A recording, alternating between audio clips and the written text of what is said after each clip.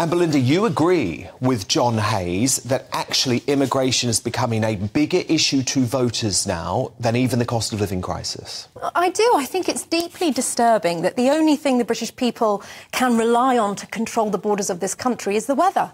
Because if the Conservative Party wanted to stop the boats, they could, as you said, announce a national emergency, mm. raise the el eligibility of asylum seekers. They could not even leave the ECHR, they could suspend parts of it. But they have chosen not to. They've chosen to tinker around with the illegal immigration bill, Rwanda, and millions off to the French, which have not impacted the numbers. And I think it's the same across Europe, Dan. A recent poll from Eurobarometer has said that 20 out of 27 EU nation states have put immigration as the number top, top concern, whereas the seven states have put terrorism as their top concern. So this is a mm. European problem. We're fed up of having to pay for our leaders' mistakes and inability to put the interests of their citizens mm. first.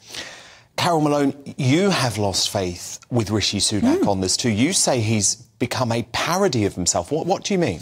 Well, in, in the sense that, you know, he keeps on saying, we will stop the boats. Every week he says, we will stop the boats. He's doing absolutely nothing to stop the boats. There is no real deterrent for any migrant. It's, there's nothing to stop any migrant in Calais from buying a ticket and getting on one of those boats and getting over here.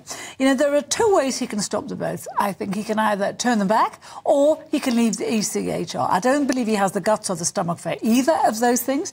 You know, those 15 dinghies that came on Saturday, it was, mm. like, it was like a blooming ferry service. Mm. You know, literally a ferry mm -hmm. service. And I, you know, and I, and I, I just read today the, the shocking. I mean, I don't think uh, is, I the one thing I don't agree with Belinda there. Everything else, but the thing I don't think it's as serious as the cost of living crisis because that affects everyone daily and by the hour. This doesn't. This this affects them, you know, you know, gradually over time. However, I do think it's true that the Tories will lose the next election unless Rishi sorts this out. And so far, he's doing nothing mm. to sort it out. We, you know, we read today that that the, the, Home Office are dealing, the ineffectual Home Office is dealing with 215,000 asylum claims. 41,000 of those have been rejected. Mm. They have been told there is no other legal avenue that can go down, and yet we can't even send those people mm. back even though they have no legal right to be here, we have decided they have no legal right to be here, and yet Rishi doesn't have the means to send them back. Now, that is going to infuriate people. It mm. infuriates me that, you know, you can't keep repeating this mantra and doing nothing about it because the Tories will lose the election, and to me, they're just walking into oblivion. Benjamin, isn't it time for Rishi Sunak to declare a national emergency? and actually show folk that he takes this seriously. Potentially, he needs to send in the Navy. I mean, he doesn't take it seriously. That much is evident, right? You know, they've been he's been trumpeting only a week ago the fact that numbers had fallen, and yet now it's clear that that was because it was rubbish weather. As soon as we had a heat wave, a sunny weekend, they were all coming over here, and every one of those dinghies is a tragedy. That's what everyone can agree.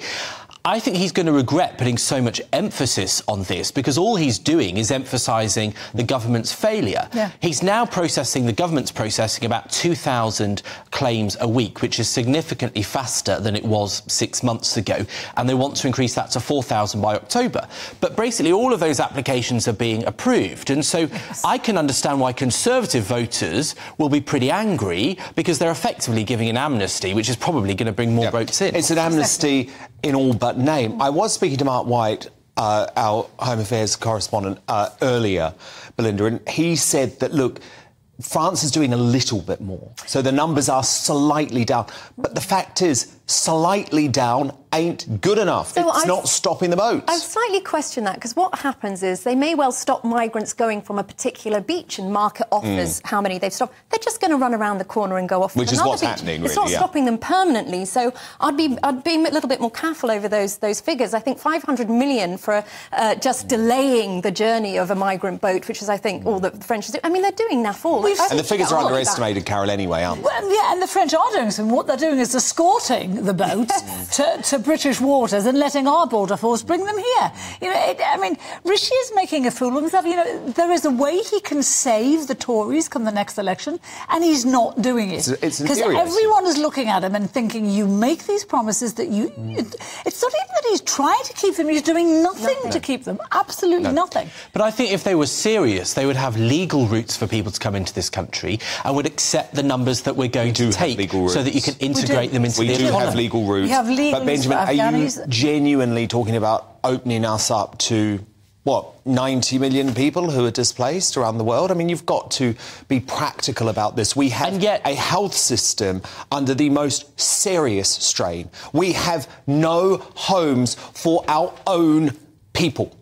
Those problems are not because of refugees. Those problems They're because of Tory neglect. And that's why, going back But to by the, the way, falsehood of way, your do, monologue... do you accept, Benjamin, though, that we're largely, on the whole, not talking about refugees when it comes think to you never the folk shut up about who it. are in the No, we're boat? talking about- no, no, we're no. talking about economic, Even the illegal EU migrants. has said that it's the Well, vast if they- majority if- of economic migrants. If they weren't le- legally refugees, then you wouldn't have a situation where more than 80% are accepted, Yes, of more course than 90%, would. Because more than of course 90% they would. Of course accepted you from would. They're Afghanistan, just, Syria, you just Yemen. said it before they're passing everyone through. Yeah, even because they're they- trying to process quickly and make it look like they're Even when they have their asylum um, uh, claim uh, refused in France, This is the fault- Home Office yes. has admitted we take so many in that Yes. have had their asylum uh, cla- uh, claim. I think- do you know what's really galling for the British people? This 40, these 41,000 who've been told they shouldn't, they've been told they shouldn't be here.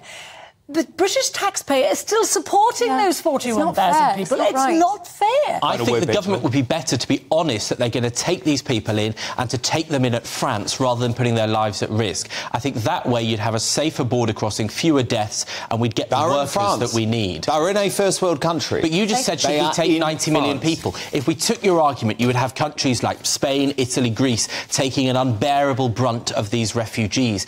Britain should take refugees cap- but they're not alongside We the don't other have countries. refugees, Ben. The majority are We do. not refugees. Well, the law We disagrees We, we, well, Well, no, we take we take tens of thousands of refugees. I mean, in fact, look at our latest in Yes. immigration Not many women and children, We're, we're though, yeah. taking But over most a of those were from Ukraine and Hong Kong. well, some were, and and the biggest obviously, proportion. Obviously, we are taking our fair share of people, but the Oh, reality it's okay is, from Ukrainians, but not It's from the Arabs in Afghanistan or the black people from African countries. young men with Well, no, I'm making the point that the vast majority of people who are crossing the Are channel economic are economic migrants from countries like Albania.